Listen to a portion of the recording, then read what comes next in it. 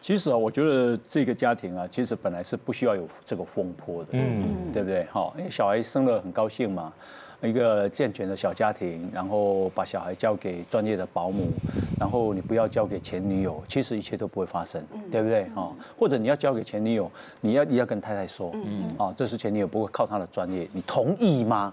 对不对？太太如果同意，那就没话讲嘛。就可是你就一起瞒着，然后现在这样子被呃弄成这样哈。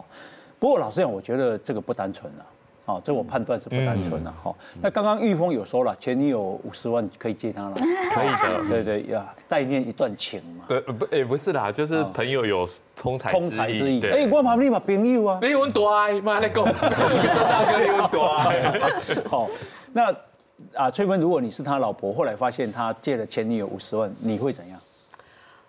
我会加倍奉还。什么意思？是你的眼神不要那么杀气。请他加倍奉还。嗯，因为他就是他，他要再给你一百万。其实他那个钱呢，是属于我们两个的。那你如果要借给你的前女友这笔钱，不是不可以，但是一个你也要告诉我，第二个你把我们共同的钱拿去借给别人，那现在就等于我的概念就是他挪用公款了。嗯，那挪用公款是不是要缴回？他们家是 A A 啊，他们他是有自己的钱啊。他有自己的钱哦。但是也不能把它拿去给别人用啊，那这样子我是算什么呢？你怎么这么无情无义啊？老师，那如果我坦白告诉你，three boy，他的 X 无需要我上班，嗯，我们这边刚好有，对，那可以吗？我要想一下。哦，你要想一下。对，我要想一下。他的前女友，他跟你讲他的前女友。对，我觉得还是要避嫌。嗯。因为不说这件事情，我会觉得不尊重我，跟不在意我的感受。嗯完全没有避嫌。那你这样子，你可以借他五十万的话，以后会发生什么事，我怎么会知道？嗯。而且我觉得像刚刚前面说不说不行，那说了也不行啊。嗯嗯。因为我会想说了，我会问一下说，那他到底发生什么事情要跟你借这五十万？我会去了解状况，不会说只有要 yes or no，只有这样的答案。因为他如果他发生什么事，不借他五十万，地下钱庄要来砍断脚筋了。那我会跟他说，你请你的前女友来跟我借。嗯嗯嗯。你请他来跟我说，对，他只要说得动我，我就会借他，用你的钱去借他五十万，请他来跟我借，我不是变成冤大头了吗？对啊，我也没赚到人情，然后呢，钱还是我借。所以你看呢，他还是要赚人情，他不是只有要帮对方啊。那我觉得这个还是会有一点点危险性，因为我觉得前任啊最危险的有三种情境哦。第一种情境就是像他说的，他遇到困难了。那遇到困难的人会楚楚可怜啊，然后会来哀求你，然后我。你就欠他一个人情，那怎么还这个人情跟还这个钱？是，嗯，所以经济困难。另外一个生病，生病的时候说，我现在真的在急诊室，你可以来看我一下吗？我好孤单哦，你可以来陪我一下吗？哦，我都没有人，我身边都没有人生病的时候。另外一个就他失恋的时候说，啊，我失恋了，我好痛苦哦，我真的活不下去了，你可以来陪我吗？我这全世界都没有想到任何人可以帮我，就只有你了，就只有你了，你可以来陪我。一下吗？可以吗？玉凤，他生病住院，你会去看他？要拜托你去。生病我不行啊，我怕被被感染感染。哦，原来是不行，是因为 生病我不行。失恋 OK 啦，失恋 OK 啊，失恋就买。那如果我失恋的时候就靠在你的肩头，好难靠肩膀会被告吗？你靠他肩膀，他他一定是女生靠啊，我这个坚强的臂膀碰过去吗？有差吗？然后哭一哭之后，然后抱住你，这样可以吗？不行吗？玉玉峰是一个理性的人，想很久。他说说不行吗？可以的意思。所以我就说这样子真的非常，如果没有这个。一点界限的话，因为通常像这样的人会出轨的人，他通常一开始都是没有界限，然后不避嫌，然后最后说没什么吧，他那么难过，他那么伤心。可是那个女朋友这样哀求，那个女跟他交往那个女朋友以前好到不得了哎。哦，对不对，玉凤？哦，我我我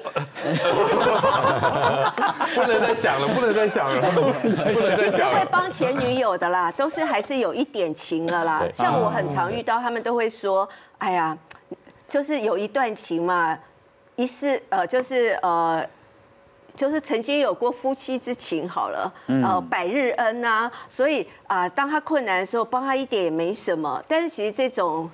很容易，真的很容易擦枪走火啊！是是，好，那诶，这个郭律师啊，这边就有一个不避险的案例。对，就是呃，这个案例是这样的，是呃一对情侣哈，他们在台中哈念书，他是大学同学。那男生哦个性都比较直哈，那呃他们是这样，是毕业了之后呢，这个。就分手了，因为就要去女生要去台北工作，男生继续在台中念研究所。哦，那到了研究所之后，这个男生就交了现任的女友。嗯哼，好，那当然感情很不错嘛，因为都在学校里面进进出出的。但就会发生一个状况，就是前女友呢，如果放假从台北要去台中的时候，就会打电话给这个男生说。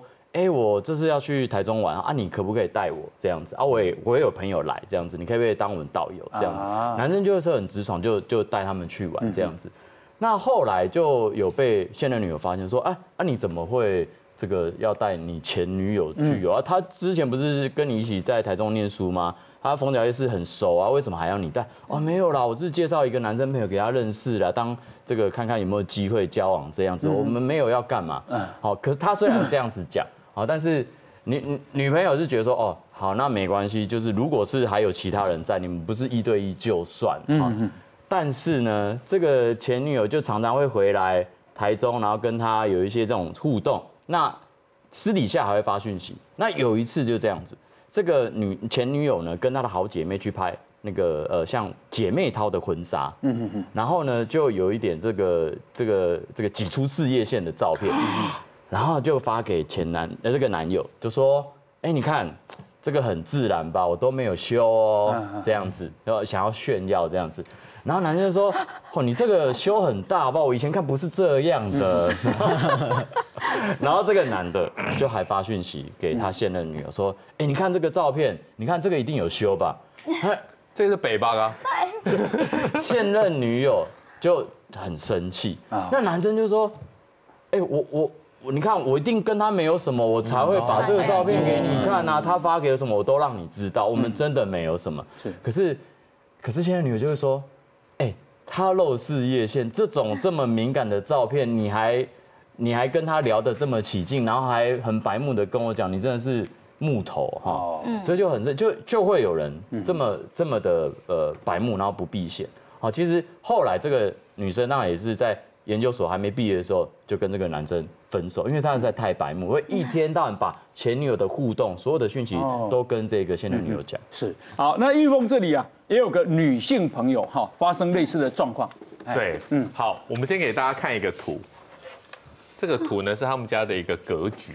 好，大家看一下，就是说他们是小小两房住在内湖，然后呢，呃，主卧室一个，小朋友一个，那中间呢就是都开门。哦，做了一个这房子盖的蛮简单，对对对对，就是，然后这边都是都是客厅啦。啊，好，重点来了，我这个朋友呢是做试管，跟她老公做试管，然后做了很多年，大概快六年才有了 baby。那有了 baby 之后很辛苦，就生下来。然后生下来之后呢，老公比较强势，就说你不要去外面上班了，小朋友得来不易，你在家里给我专心好好照顾。那我这个朋友就只好跟公司请假。